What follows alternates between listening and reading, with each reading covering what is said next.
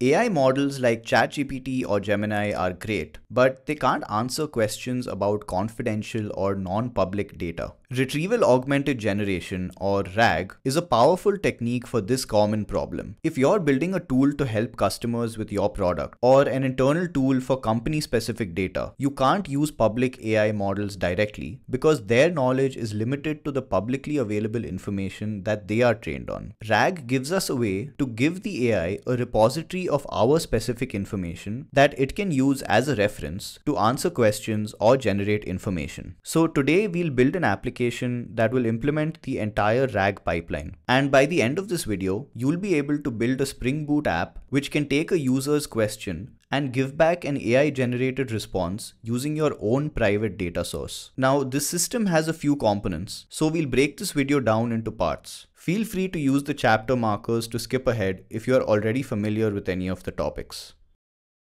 Have you ever wondered how AI models can understand the meaning and relationship behind words? The magic behind this is a concept called vector embeddings. In simple terms, it's just a group of numbers that form a numerical representation of data, in this case text. You can think of it like a special translator. You give it a word or a sentence and it translates that text into a list of numbers, which make up our vector. The cool thing about this is that these values are actually meaningful. So words or phrases with similar meanings have vectors that are numerically closer to each other. In the real world, these vectors can have hundreds or even thousands of dimensions, but to make it easier to understand, let's imagine a model that creates vectors with only two dimensions. So we can plot any piece of text on a simple x and y graph. So if we had to plot the vectors for dog, cat, bark and meow, the points for dog and bark would be close, and cat and meow would be close as well. This shows that the model understands that dogs are related to barking and cats are related to meowing. The distance between any two vectors shows how closely related the two pieces of text are. So how do you create these embeddings? For this, you'll most likely need an AI model that has been trained for this purpose. While you can use paid APIs for this, the great news is that you can run powerful models on your own machine for free. There are several tools you can use for this, but a good one to get started is LM Studio, which you can download from its website here. Once you open the application, you can use the search bar to find and download different embedding models. The one I'm going to use is called the Nomic Embed Text model. Once the model is downloaded, we can go to the local server tab on the left, select the model that we just downloaded and click on start server. This creates a local API endpoint on your machine that is compatible with the OpenAI API. This is incredibly useful because it means that you can use many existing tools and libraries that are built to work with OpenAI models. Now we can test our local server to get the embeddings for some sample text. So here we are sending a request to the v1 embeddings endpoint and passing it some text. As you can see, the result we got back is an embedding vector for the text. Although the example we saw before was for two dimensions, this model creates a vector with 768 dimensions. And while we can't visualize that very easily, our applications can work with these vectors quite easily. So if we have a search query and want to find relevant text that's related to it, all we need to do is find the distance between the search query vector and the vectors of the text that we have in our database. Now that we can create embeddings, we need somewhere to store them.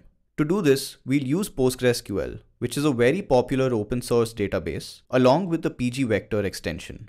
This adds vector similarity search capabilities directly into Postgres. You can follow instructions on the official websites to install Postgres and the pgvector extension. If you're using a Mac, you can install Postgres using postgres.app, which would automatically come with the pgvector extension installed. So now let's create our database. We'll go into the Postgres command line and create a new database called ragdemo. We'll then connect to it and create our table called vector store. First, we'll have to enable the pgvector extension. We'll also enable the UUID OSSP extension to save our primary key as UUIDs and the HStore extension to work with JSON data. Our table will consist of an ID field, which is a UUID, which is an automatically generated unique string of characters, the content, which will be our raw text that we want to search for, the metadata, which is used to store additional information about the content, and finally the embedding, which will be the vector of the content created by our embedding model.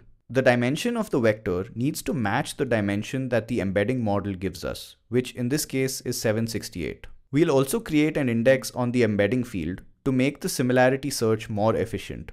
HNSW here stands for Hierarchical Navigable Small Worlds. It's an indexing algorithm designed for nearest neighbor search in high dimensional vector spaces. You don't really need to know the details of this, but just know that it's going to make our vector store faster to search. Now that our database is created, let's create a Spring application. We can head over to start.spring.io to create a project. We'll need to add a few key dependencies here. We'll need Spring Web for the REST controller, the OpenAI starter, which we will use to connect to both our local embedding model and the online chat model, and finally the Spring AI vector database dependency to connect to our vector store. We can then fill in these fields and then generate our project. So now let's look at our code. We can see a few files here in addition to our main application class, so let's go through them one by one. The document loader class is used to populate our database with the initial information.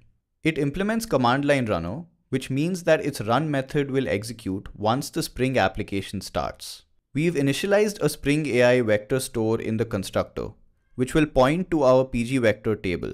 So now to illustrate our RAG example, we want to populate our vector store with information about an imaginary database called Starlight DB. So in the run method, we are creating a bunch of Spring AI document objects, which together will contain the text corpus that describes Starlight DB. We can see that it has a bunch of features along with information about its engine and other security features. Feel free to pause here if you want to go through this. Once we create a list of documents, we can add it to the vector store using the vector store.add method. This is where Spring AI takes our text, sends it to the embedding model that we've configured, and stores both the original text and the resulting vector in our PG vector database. This method will run once once our application starts up. Now let's look at the main retrieval logic of our application, which is in the RAG service class. Here we've initialized the chat client and the vector store. The vector store is the same one that we used in document loader and the chat client here will be a client for an online model like ChatGPT, Gemini or Claude. The retrieve and generate method contains the core logic of searching and responding. First, it performs the retrieval step. It takes the user's message and calls the vector store.similarity search method. Under the hood, this will convert the user's question into an embedding and retrieve the most similar documents from the PG vector database. Next, we'll perform an augmented generation step. Here we take the content from the retrieved documents and join them into a single string of information. We then create a prompt using a template. We've defined the prompt template here which points to a text file in our resources folder. You can pause to take a look at the prompt, but basically it just asks the AI to answer the user's question based on the provided information. We'll pass the generated prompt along with the message from the user to the online AI model and return the generated response. The RAG controller defines the HTTP endpoint that we'll use to take the user's question and return the answer. Here we can see that we'll accept a post request to the AI slash RAG endpoint with a JSON request body that contains the user's question in the message field. Finally, the main application class just contains the main method to run the entire Spring Boot application. So now we've mentioned a vector store, a chat client, and an embedding endpoint. But how does the Spring application know where to find everything? So this is all configured in our application.properties file. First, we have our Postgres database connection details. Next, we have the routing details for our embedding model. Since our embedding model is running locally, the base URL is localhost 1234 without any API key. We're using the Nomic embed text model to generate our embeddings. We also specify the dimensions here. For the chat model, we are using OpenRouter, which gives us access to models like Gemini, Claude, and ChatGPT. We set its base URL and provide an API key here. For this demo, we'll be using Gemini 2.5 Flash, but you can change the model according to whatever you prefer. If you want to know more about how to use OpenRouter, you can see my other video about that that I've linked here and in the description. But you can use any OpenAI compatible endpoint and API key for this configuration.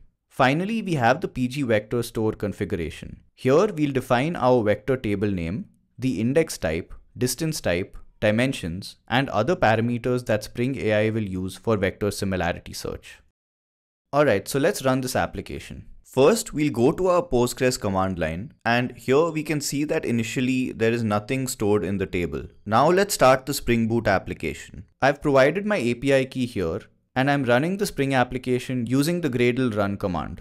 The first log we see here is that documents are being loaded into our vector store. So if we run the select query again, we can see the content that's been loaded here. We could see the embeddings as well, but that would be way too much to show on the screen and frankly not very readable. But this is just to show that Spring AI did in fact get the embeddings for our content and store them in our vector store.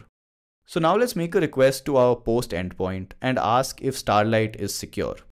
You can see that this answer contains proprietary information about Starlight, which is that it has the Cosmic Shield security feature. This is imaginary information that we just made up, so it's not publicly available, and it's only present in our vector store. Behind the scenes, Spring AI retrieved these documents from the pgvector database, sent them along with our question to the AI model via OpenRouter, which then generated this response. In fact, if you want to see what's happening under the hood, let's log the retrieved documents and the final prompt that is sent to the model just to see how it works. So we can restart the application and try asking another question. This time we'll ask what engine does Starlight use? So again, it correctly answered that Starlight uses a Quantum Leap query engine. But let's see how it got to that answer. So from the logs, we can see that it fetched a bunch of documents, each with a score. The document with the highest score is the one which mentioned that Starlight DB uses the Quantum Leap query engine. And if you look at our final prompt, this is the prompt template that we sent. And the information here is basically the content of all the retrieved documents arranged in order of their score. So the score here just shows how relevant a particular document was to the user's question. And this is what leads to our final answer being accurate. So although the example we showed worked pretty well here, there are some things you might want to consider if you want to create this kind of system in a production environment. Firstly, in our example, we used pretty small snippets for each of our documents. If you have a large document, the similarity search may not work as well and you may have to break that document down into smaller pieces. This is known as document chunking and each of these pieces or chunks can then be stored as a separate entry in your vector store. Another thing to think about is the quality of your embeddings. The Nomic embed text model that we used here is great, but the performance of your RAG system is highly dependent on how